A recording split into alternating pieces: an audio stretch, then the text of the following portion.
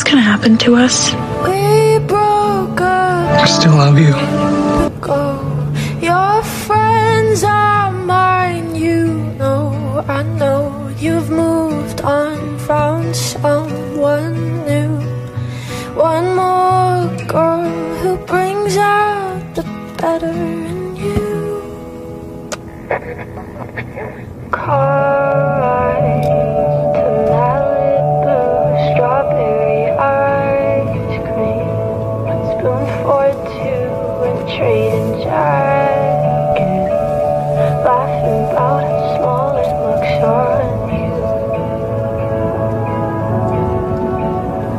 Is that Mimi on the TV?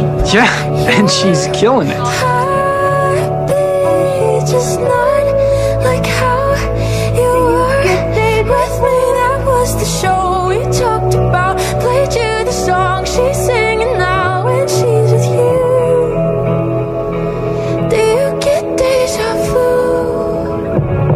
Vu? Wouldn't lie, right?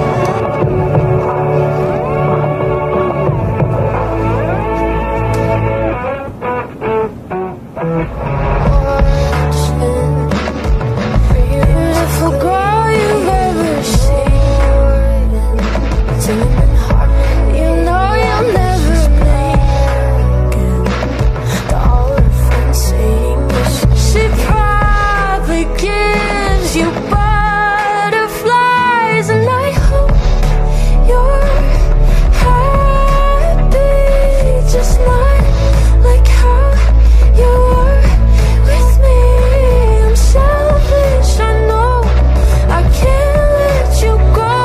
now. I'm gonna give you a really tight hug, and then I'm gonna walk away with my head high.